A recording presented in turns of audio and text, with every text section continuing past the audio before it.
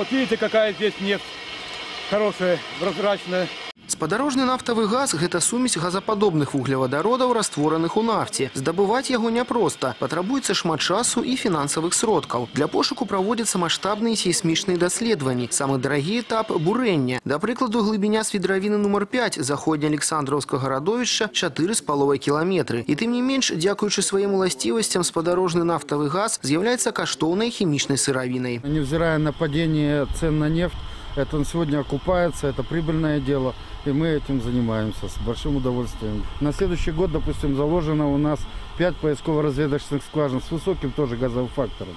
Не как здесь, а, к примеру, Восточно-Первомайка 400-450, Надвинка 380-350 газовый фактор, тоже там бурим.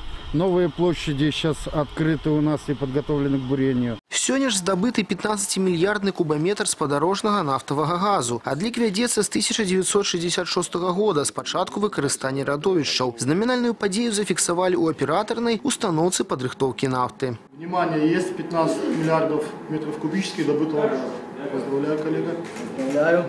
Установка падрыхтоўкі нафты звязана прамым трубаправодам з радовішчамі. Сюды паступае трохфазная вадкасць, якая змяшчае нафту, ваду і спадарожны газ. Далей адбываецца сепарацыя, іншымі словамі, раздзяленне ўсіх фаз на асобныя кампаненты. В зависимости от того, э, скажем так, э, каким образом он транспортируется, либо под собственным давлением э, сепараторов, э, либо с помощью дожимной компрессорной э, станции, он транспортируется на белорусский газоперерабатывающий завод.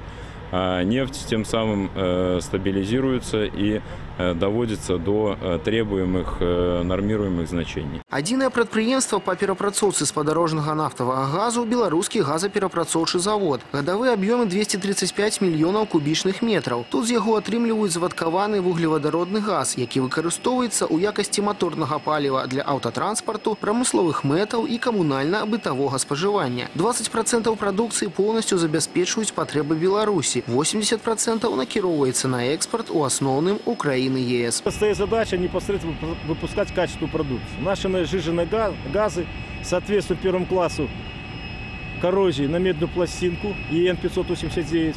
Кроме всего этого, мы зарегистрированы в 2016 году в системе РИЧ, это регламент Евросоюза, а также получили 4 вида продукции. Мы получили непосредственно номера, это бутан изобутана фракция, пентан изопентана фракция. То есть чисто экологический продукт. Дмитрий Котов, Валерий Гапанько, телерадиокомпания «Гомель», Решетский район.